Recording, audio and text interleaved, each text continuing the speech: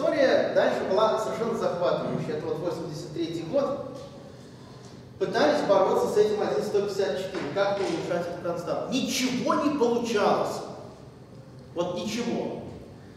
Получилось примерно в 2006 виноват году, только в 2006 году, у товарища по фамилии Бела, прости господи, получилось одну вторую, вот эту вот, одну вторую несчастную, не ту, которая стоит в основании экспонента, не ту, которая служит знаменателем геометрической прогрессии, а вот эту несчастную одну вторую, которая ни в какую степень не возводится, заменить на две трети.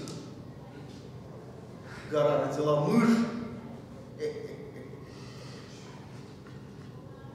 Потом у меня была ученица, которую я как-то пытался на это дело направить, и она, конце концов, я не буду говорить, как ее звали, это не имеет значения, вот, она, в конце концов, э, дожала вот эту всю технику. Кстати, там были очень остроумные идеи, мне нравилось, мне казалось, что ну, мы, мы были на неверном пути, к сожалению, до примерно 0,9.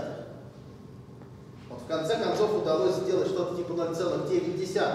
Но понятно, что это принципиально ни на что, конечно, не влияло. Просто ну, там были какие-то остроумные идеи, вроде как здорово. Вот. Потом, в 2000 примерно девятом году вот это произошло, заменили 0,9 на некоторую константу, которую я не помню, помноженную на корень из n. Понятно, почему мне теперь не важна константа, потому что корень из n, он все равно растет быстрее, чем все что угодно. Но опять, товарищи, корень из n все-таки умножается на что-то куда как более быстро растущее. Поэтому умножение здесь на корень из n это как бы прорыв, но не великий, потому что 1,154 как стоял у Бержинки в боке, так и стоит. Понимаете, да, в чем проблема? Вот, на n смогли заменить. А дальше было так. Я немножко упустил задачу из виду, у меня уже не было учеников, которые этим занимались. И после 2010 года я перестал следить за тем, что там происходит.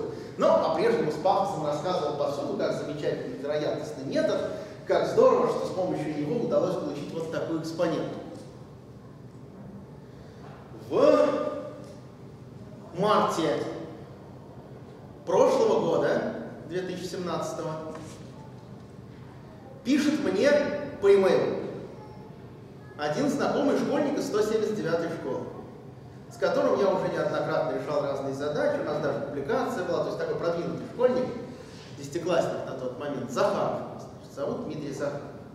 Вот, пишет мне этот самый Дмитрий Захаров по e-mail и говорит, Андрей Михайлович, мне кажется, я кое-что придумал относительно задачи про острые углы. А именно, говорит, мне кажется, что мне удалось заменить 1,154 тысячных наконец-то.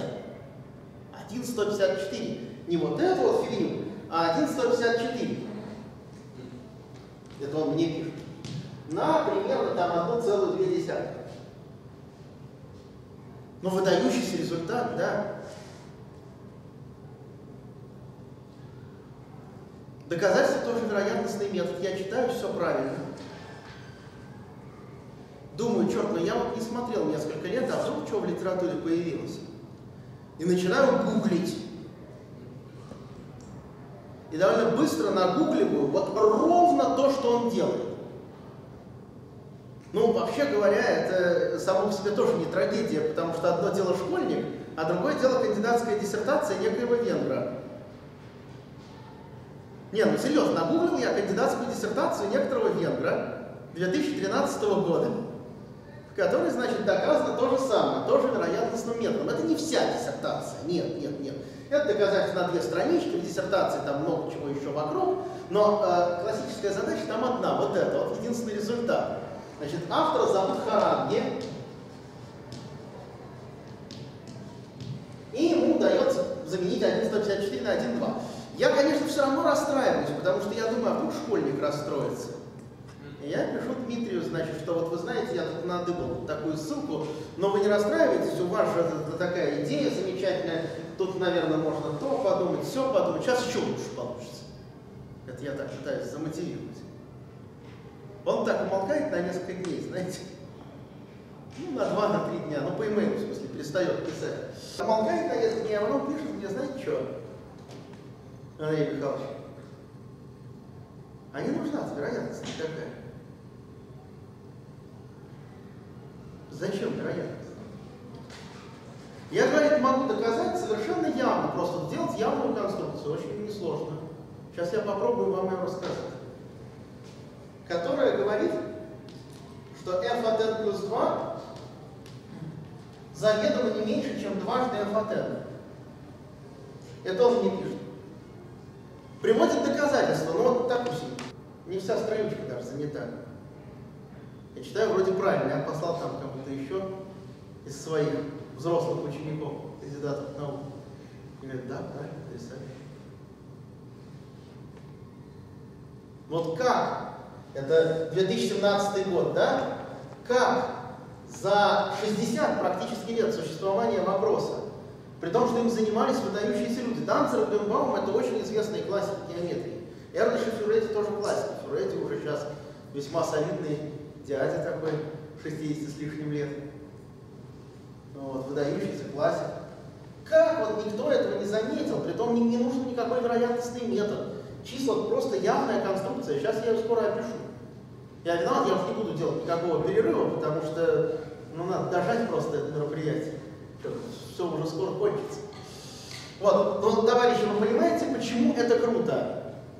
Я вот долго болтал, мне очень хотелось, чтобы э, вы, присутствующие здесь, как-то осознали, почему это уже круто. Это еще не вся история, сейчас история чуть продолжится, но это уже круто. Почему? Ну, это... Что отсюда следует ну, по индукции?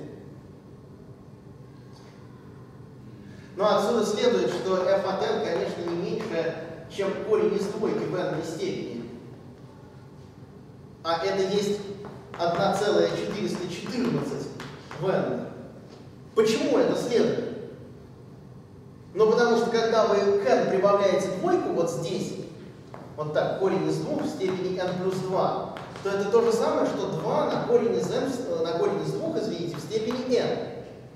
Вот это f от n плюс 2 а это дважды f от n. То есть вот этому неравенству такая экспонента удовлетворяет, такая геометрическая прогрессия. Видите, да, по индукции просто удовлетворяет. Ну, корень из двойки гораздо больше, чем 1,2. И уж тем более, чем 1,154 тысячи.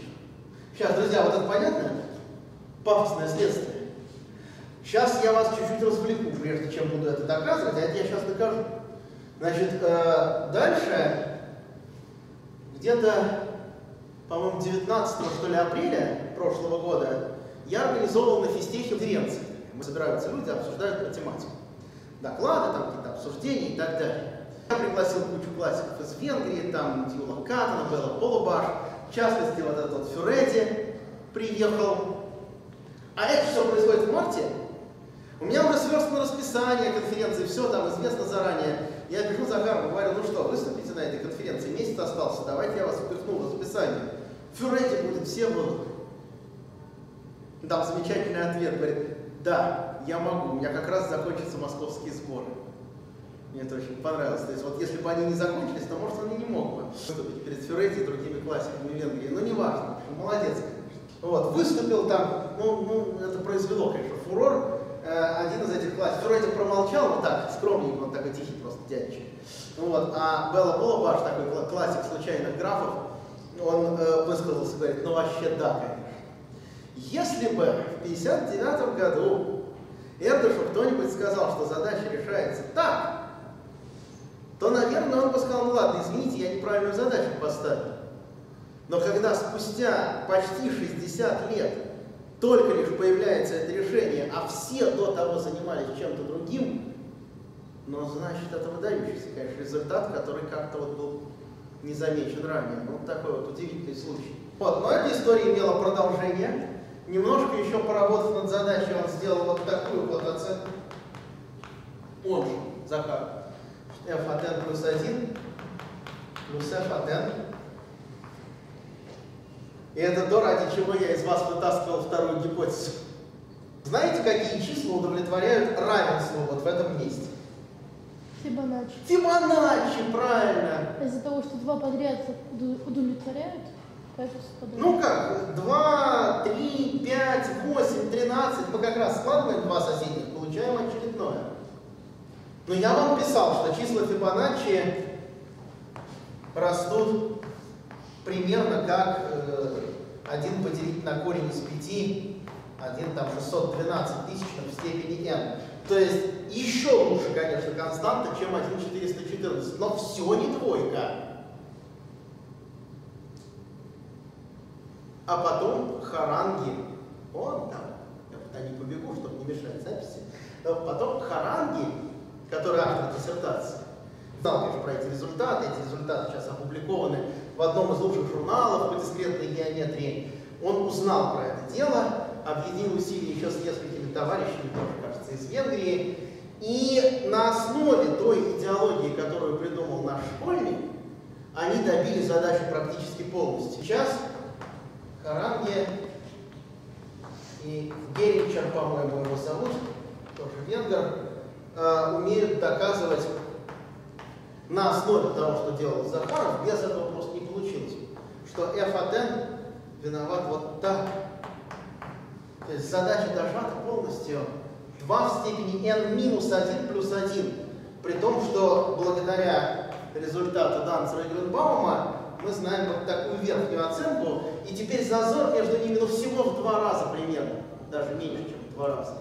Уже никакой экспоненты между ними нет, и тут два в n, и тут два в n. Почти добили задачу. Такое вот чудо случилось за прошедший 2017 год. Классическая задача, 59 год, практически по сути полностью решена. Вот. Моя цель сейчас, ну дальше там довольно сложно все, доказать вот это самое простое из того, что вот с чего все началось. Если бы не это, не было этого, если бы не было этого, не было бы этого. Немножко, конечно, жалко, что не мы это придумали, но кто придумал, тот придумал.